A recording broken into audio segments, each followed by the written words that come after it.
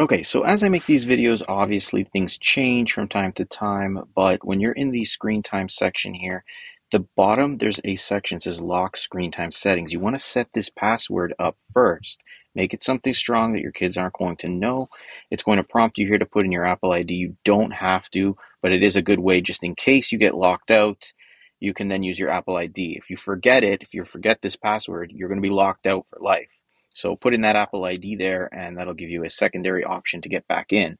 Once you have that set there, you're going to go to your app limits, add a limit, put in that passcode you just set up. You're going to choose whatever app you want, whether it's the calculator, for example, or games they play. Set the time, and now you see right here, block at end of limit. Once that's on, it's going to block them from clicking that ignore. So you're going to have the limit set to the way you want it, and that should fix the problem. Let me know if it doesn't. Hit a like button if it does. I hope this helped you with your screen time issue.